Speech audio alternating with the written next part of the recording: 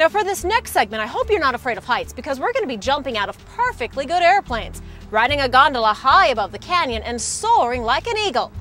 Hold on tight, we're about to take the plunge into our next piece. Colorado is a dynamic state, so it's a great place to seek out a variety of experiences. Come along as we highlight a few fun events that you might want to check out in this beautiful state. Of course, Colorado is known for its elevation, but for those looking for a real high altitude rush, head over to the Mile High Skydiving Center. Located within 30 minutes of Denver in Longmont, Colorado, this center is the Rocky Mountain region's top ranked and largest skydiving facility. If you're a first time diver, you'll be paired with a trained professional for a tandem jump. You'll be led step by step through the training process so you'll know exactly what to expect when you head up in the plane. So get ready for the time of your life. The learning process is a quick one.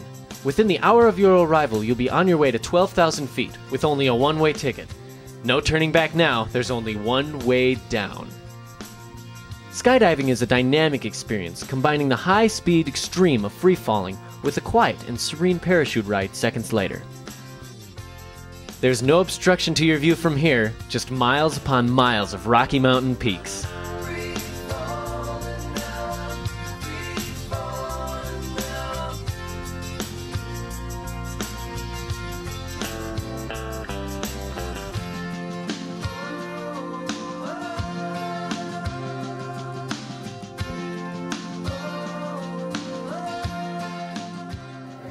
Uh, we have an AFF class, stands for Accelerated Free Fall, and that's the that's the step classes to be able to do it by yourself. It's a seven-level course. Um, the first one is the longest. You sit through a seven to eight-hour class, learn everything about the parachute system, how to handle emergencies, um, and then you go up with two instructors that are, are no longer attached to you; they're just holding on to you during the first couple jumps, and we slowly let go of you, and, and, as you progress and you learn more and more about how to fly your body.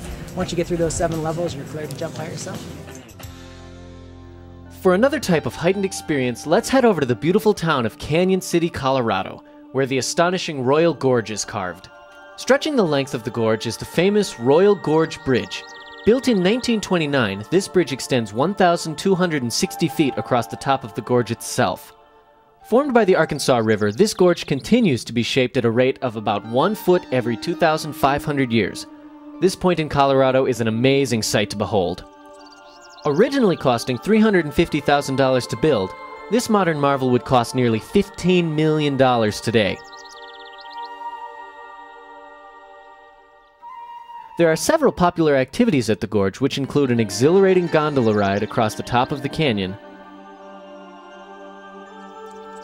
or from below enjoying a refreshing raft float on the river.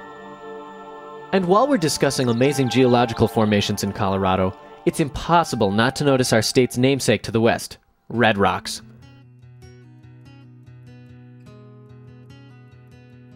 The name comes from the obvious red coloring of the stone.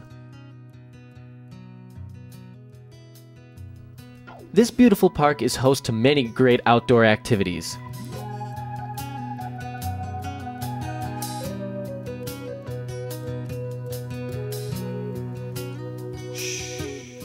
The beauty of Red Rocks can be seen from the many miles of hiking trails, or heard from the one of a kind Red Rocks Amphitheater. Over the years, this stage has been Colorado's most popular concert scene, as proven by the many famous artists which frequent it. While it's true that one could not truly experience Colorado without enjoying the majestic landscape that makes up its geography, it's also vital to recognize the wildlife that calls it home. There are many local organizations that are dedicated to increasing awareness and appreciation of this factor. HawkQuest is one such organization.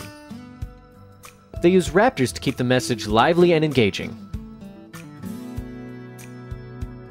A raptor, basically the word raptor is a bird that hunts with its feet, uses its feet to catch its prey.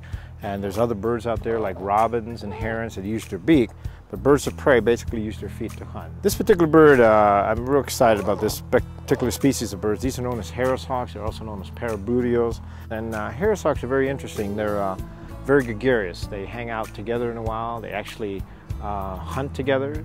They're also known as wolves of the sky. For example, this bird only weighs about 24 ounces and can catch a jackrabbit that weighs anywhere from six to seven pounds, but if it had two, maybe three of its friends helping, it'd have a better chance of catching that rabbit. HawkQuest has a number of species, including eagles, both the golden and the bald, falcons, from the peregrine to the kestrel, and owls, including the largest in the world, the Eurasian eagle owl.